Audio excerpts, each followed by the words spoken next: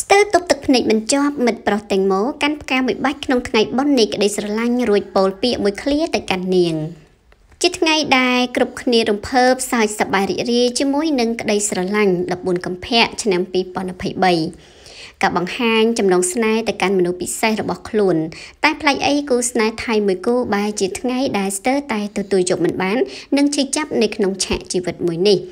ក្រោយពេលដែលឃើញមិត្តប្រុសត្រូវជាគូស្នេហ៍របស់តារាសម្ដែងស្រីតាំងម៉ូនីដាបានចេញមុខមកបង្ហោះរូបភាពដ៏គួរឲ្យក្តុកក្តួលអួនណែនក្នុងចិត្តបំផុតនៅលើគណនី IG ផ្ទាល់ខ្លួនរបស់លោកដែលនៅថ្ងៃ14កុម្ភៈឆ្នាំ2023នេះអ្វីត្បិតតែតារាសម្ដែងស្រីដ៏មានស្នាដៃនិងទេពកោសលអ្នកនាងតេងម៉ូគឺបានទទួលមរណភាពទៅចាក់ចោលគ្រួសារមហាជនក៏ដូចជាអ្នកគ្រប់គ្រងរបស់នាងផ្ទាល់ជិត1ឆ្នាំទៅហើយក៏ពួកគេតែងតែនឹកនាគ្រប់ពេលវេលាជាក់ស្ដែងអ្វីដែលធ្វើឲ្យអ្នកលេងនៅក្នុងបណ្ដាញសង្គមអ៊ីនធឺណិតជាច្រើនទប់ទឹកភ្នែកមិនជាប់រំជួលចិត្តទៀតនោះបើទោះបីជាមនុស្សដែលខ្លួនស្រឡាញ់ចាក់ចេញទៅគ្មានថ្ងៃវិលត្រឡប់មកវិញ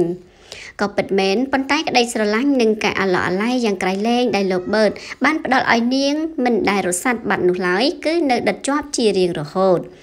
ហើយនៅថ្ងៃបុណ្យនៃក្តីស្រឡាញ់ឆ្នាំនេះគូស្នេហ៍របស់តារាសម្ដែងស្រីទាំងម៉ូគឺលោកបឺតក៏បានបង្ហោះរូបភាពដែលគាត់បានកាន់ភូមិផ្កាដ៏ធំទុកឲ្យមិត្តស្រីរបស់លោកដែលស្រឡាញ់គ្មានថ្ងៃប្រែ តែពេលនេះនាងមិននៅជាមួយលោកទៀតនោះឡើយដោយលោកបានបង្ហោះភ្ជាប់ជាមួយនឹងសារប៉ុន្មានឃ្លាដ៏មានអត្ថន័យយ៉ាងដូចនោះថា140266 Happy Valentine's Day baby I love you I miss you so much Mother Bird ទោះបងមិននៅក្បែរអូនក៏បងនៅតែស្រឡាញ់និងនឹកអូនខ្លាំងណាស់បេះដូងតែមួយរបស់បង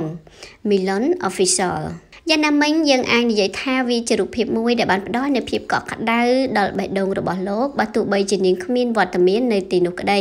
តែក៏សង្ឃឹមថានាងនឹងបានឃើញនិងស្ដាប់ឮទៅចុះមិនតែប៉ុណ្ណោះពេលដែលលោកបឺតបង្ហោះសារនិយាយរៀបរាប់នៅលើគណនី IG ភ្លាមរួចមកក៏បានធ្វើឲ្យអ្នកលេងបណ្ដាញសង្គមអ៊ីនធឺណិតមិនតិចអ្នកនោះទេទាំងប្រុសទាំងស្រីនាំគ្នាសម្ដែងការអាណិតទៅដល់លោកស្ទើតែគ្រប់គ្រប់គ្នា